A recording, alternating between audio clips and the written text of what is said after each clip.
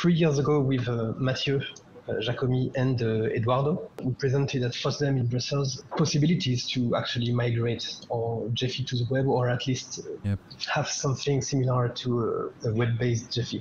The thing is, at that point, we established that we have uh, quite a powerful uh, graph rendering engine now uh, that has been developed by uh, Guillaume, uh, who must be with you right now, and uh, me mainly, and help with other people, including Benoit. Uh, we also have a huge set of uh, implementations for various graph algorithms, including Force Atlas 2, which is kind of one of the huge pillars of uh, Gephi right now, and also community detection, page rank, lots of metrics, etc. So we have good opportunities here to start working on um, Gephi on the web.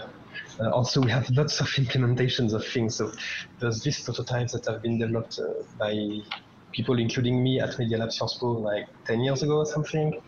Uh, we have Retina that you just show, uh, that you just saw, sorry, uh, and that will be used for exporting graphs from now. There's also Minivan that has been designed and developed by my brother Mathieu, and uh, sorry, I keep going on those. Uh, Nancy that is currently being developed by Guillaume and Robin at Media Lab.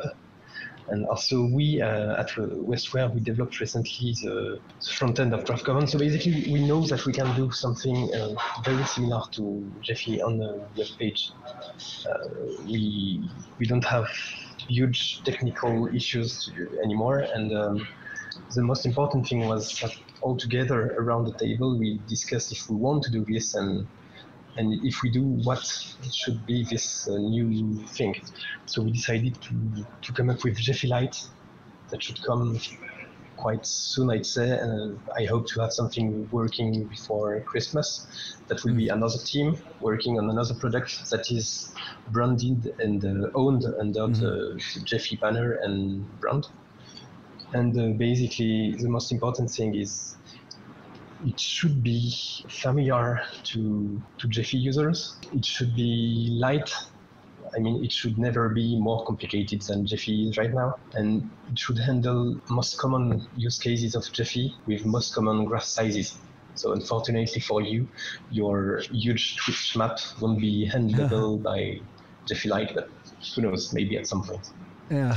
and um, I spent some time working on those specifications draft, hoping to, to start the discussion. And Paul and Mathieu and Guillaume also uh, have already joined. So nice. that's something new, and we will have to to see if it evolves properly now. As Mathieu is saying in the chat, we are doing the web version of Gephi. Drop the mic. It's quite a, a huge uh, strategic ambition for Gephi as technologies. A lot of technologies are migrating to the web for accessibility accessibility and uh, it was uh, yes there are questions about the demo but no it's not uh, available yet.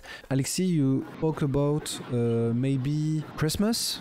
Yeah that's I, would like to have a running prototype before christmas. Okay Oh, it would be so great. Alexis, this is Clément. I realize I should ask my questions as an issue on, on the Gephi Lite repo. That would be uh, more productive, but let me go this way.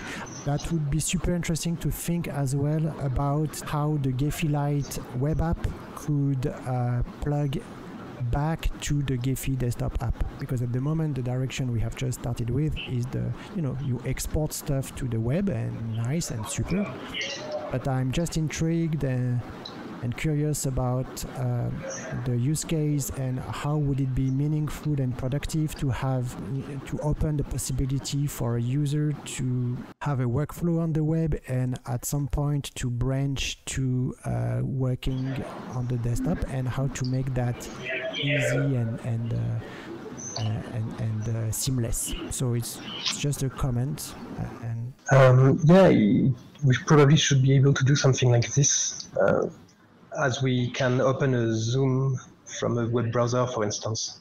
Today, uh, now, nowadays, we have uh, quite of uh, difficulties to find Java developers to help us to maintain to maintain uh, Gephi software. But developing uh, this Gephi Lite is uh, like a new path for other kind of developers and new technologies. What can you tell about it to us? I'm sure you're right. I think it's going to be easier to find uh, React TypeScript developers and Java developers. Yeah. Uh, but it's also a opportunity because we will be able to move faster than Gephi, maybe. Yeah. Um, in which case, uh, maybe we can try things on Gephi Lite, and if it works well, implement the, the good feature only once in Gephi.